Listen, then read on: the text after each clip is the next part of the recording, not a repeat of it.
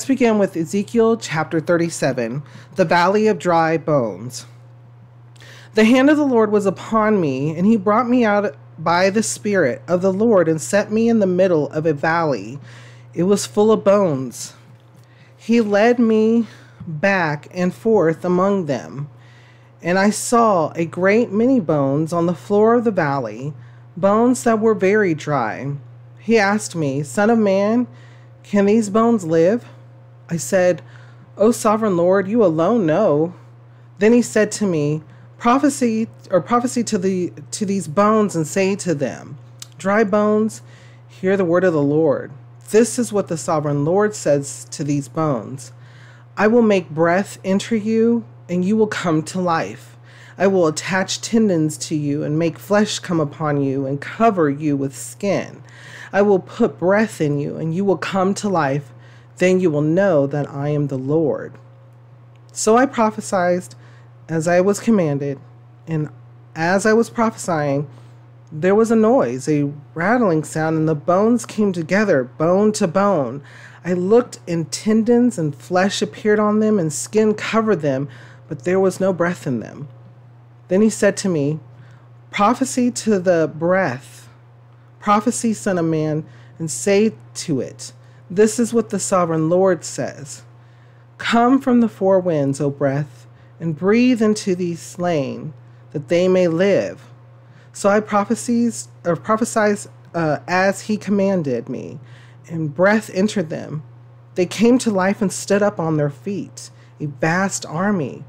Then he said to me, Son of man, these bones are the whole house of Israel. They say, Our bones are dried up and our hope is gone we were cut off. Therefore, prophesy and say to them, This is what the sovereign Lord says O my people, I am going to open your graves and bring you up from them. I will bring you back to the land of Israel. Then you, my people, will know that I am the Lord when I open your graves and bring you up from them. I will put my spirit in you, and you will live, and I will settle you in your own land. Then you will know that I, the Lord, have spoken, and I have done it, declares the Lord. Okay, so just in this first part, there's a lot here. This is Ezekiel once again um, receiving a vision, receiving something that is from the Lord, and sh- showing and being shown um, what is to come, what is to happen. Now, some Bible scholars and um, and people um, preachers and uh, people who uh, of the faith believe that this is a description of what will happen um, near the end of times, um, and that this is the revival of of all um, when the Lord comes back.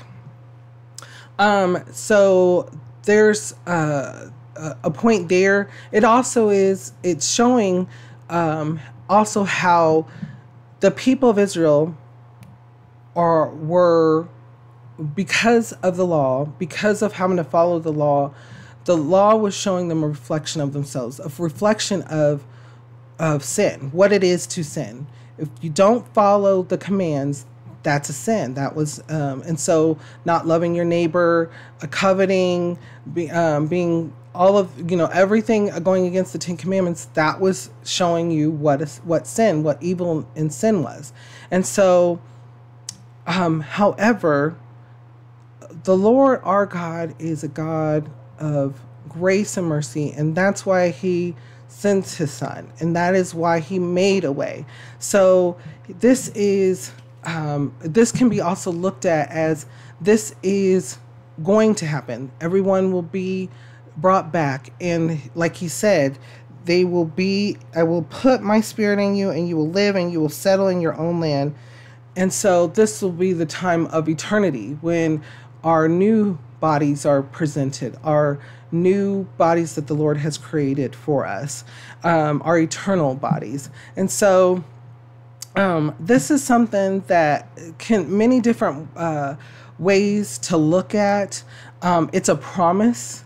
And, and listen to what he says. And I have done it, declares the Lord. Because to the Lord, the Lord doesn't live in time. The Lord is timeless. The Lord is the Alpha and the Omega, the beginning and the end. So He's already, He knows everything and He's done everything. It's just us that are living to in time. It's just us that are going down these paths that we have. And so, uh, looking at this, this is a completed promise. He's letting us know that of the promise. He's he because he's always up front. He oh, the Lord our God, he is clear messenger. He lets us know what's going going to happen. He tells us and then he does it. And he shows us that he has done it. And so uh, there's so much here, but bringing past to present, we can see that the Lord is faithful. The Lord is true. He is the good shepherd. He only wants the best for us. And he's showing Ezekiel the hope, the hope that he's bringing. He's showing him, look, I'm going to bring my people. I'm rescuing them, freeing them from the uh, bonds of sin, which equals death.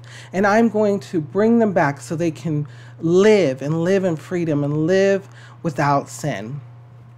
Amen and hallelujah. Before we go on, though, what kind of thoughts or feelings come to your mind when we read over this? How does it make you feel and what does it make you think?